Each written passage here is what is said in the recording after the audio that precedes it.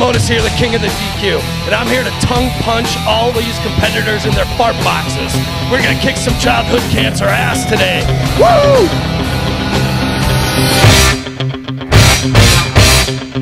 Woo!